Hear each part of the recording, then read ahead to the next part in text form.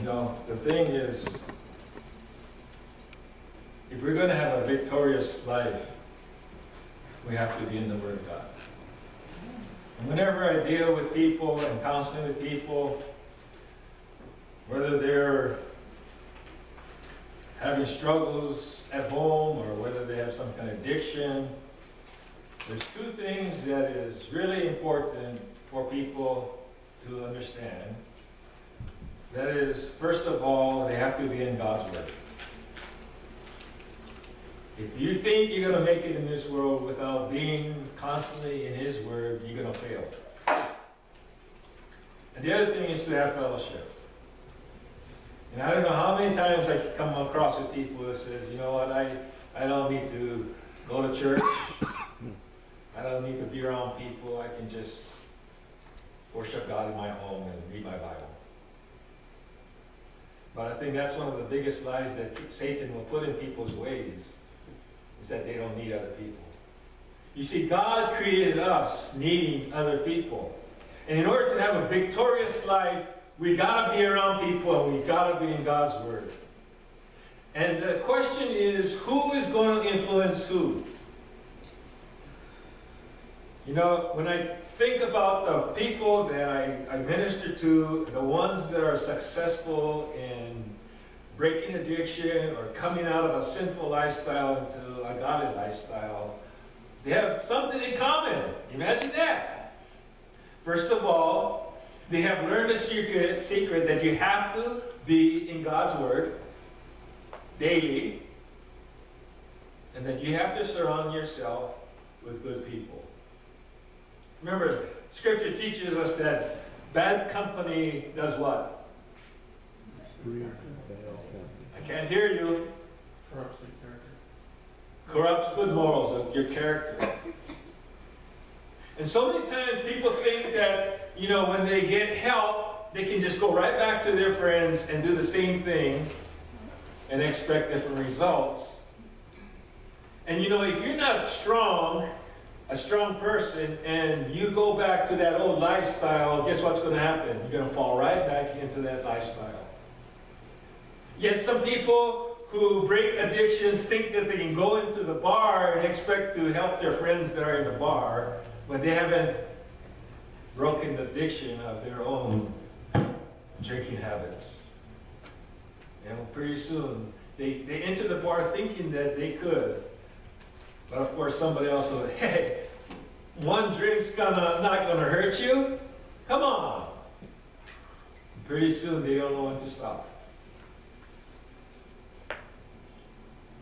And now, in the state of Nebraska, they're talking about legalizing marijuana. Well, you know, Colorado's making all this money, right? Why not? You know, we might as well get the taxes, the tax benefit from selling marijuana. So let's do it. I mean, we know that prohibition didn't work right in America. That, that caused uh, worse problems, so we now legalize alcohol and now we can tax alcohol. But you know, all the taxation and all the money that we get is not paying for the homes that are being destroyed by alcohol. And it actually has destroyed our society today. Because there's so many, I, I don't know, you know, when I, when I think about all the people that have has been affected by alcohol and drugs, it's, the numbers are staggering. I just read in a paper today about a Nebraska State Patrol officer who is retiring and he talks about how many people have been destroyed by methamphetamine. That it is the worst, one of the worst drugs that people are addicted to. And I say, yeah, because a lot of people that I've dealt with, a lot of them have been involved in meth. And of course, when they have a meth addiction, they have to pay for that drug. And so they're also dealing the drug. And many of them end up in jail. And in talking to some of these, I said, well, at least if you go to jail, you don't, you don't have access to that, right? No, it's available even in jail. That's how bad it is. You see, the thing is, these people have minds that God created them to have, to be creative, but they use it for the wrong purpose. Man, if they can just use those gifts that God has created with for good, can you imagine how productive they can be in society instead? They use that creativityness to be able to fashion weapons in prison or to get their way, and they can even do some controlling of people outside of the jail to get their purpose done. So again, I say that two things got to happen in life. Is first of all, you have to be in God's Word constantly. And I say memorize the Word of God.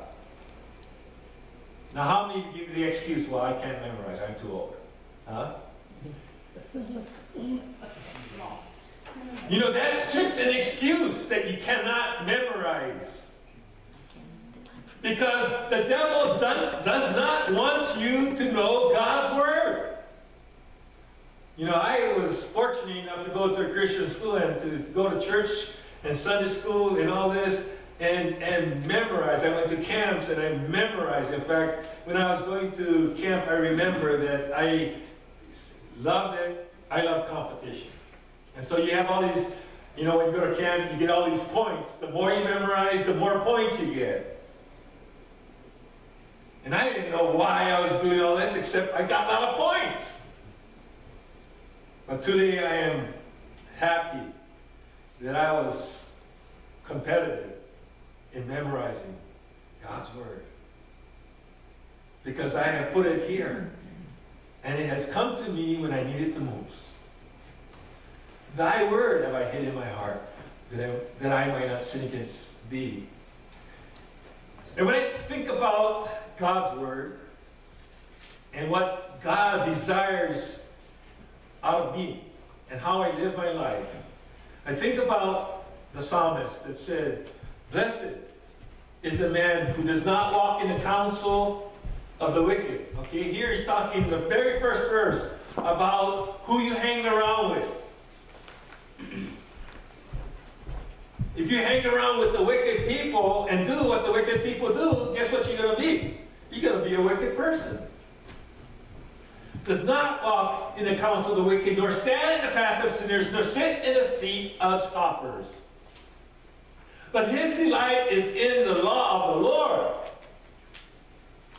And in his law he meditates when? What does that mean? All the time. All the time. He will be like a tree firmly planted by streams of water, which yields its fruit in its season, and its leaf does not wither, and in whatever he does, he prospers. Now, I'm not trying to preach a prosperity gospel here, but there's something that happens to us when we're in God's Word and when we meditate on it all the time. You know, the reason why people do not prosper is because they don't understand who God is and what He intends for each and every one of us. God wants to bless us beyond what we can imagine. A lot of times it is us that get in the way of God's blessing.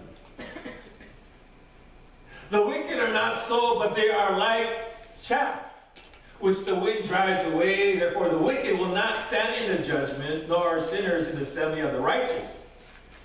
For the Lord knows the way of the righteous, but the way of the wicked will perish. What I want to do is I want to play some some nice instrumental music while I read the next chapter, I mean the, the book, the chapter of Psalm 119. It's a long passage, so I thought, well, I want you to close your eyes and just meditate on what the Word of God says. The Psalms is written in poetry form. But you know, if you understand Hebrew poetry, there's a, a sense of repetition that goes on. And the reason for repetition is just to say, hey, this is important. So I want you to close your eyes and just meditate on His Word. How blessed are those who, whose way is blameless, who walk in the law of the Lord. How blessed are those who observe His testimonies, who seek Him with all their heart. They also do no unrighteousness. They walk in his ways. You have ordained your precepts, that we should keep them diligently. Well, that my ways may be established to keep your statutes. And I shall not be ashamed when I look upon all your commandments. I shall give thanks to you with uprightness of heart. When I learn your righteous judgments, I shall keep your statutes. Do not forsake me utterly. How can a young man keep his way pure? By keeping it according to your word. With all my heart I have sought you. Do not let me wander from your commandments. Your word I have treasured in my heart that I might not sin against you. Blessed are you, O Lord. Teach me your statutes. With my lips I have told of all the ordinances of your mouth. I have rejoiced in the way of your testimonies as much as in all riches. I will meditate on your precepts and regard your ways. I shall delight in your statutes. I shall not forget your word. Deal bountifully with your servant that I may live and keep your word. Open my eyes, that I may behold wonderful things from your law.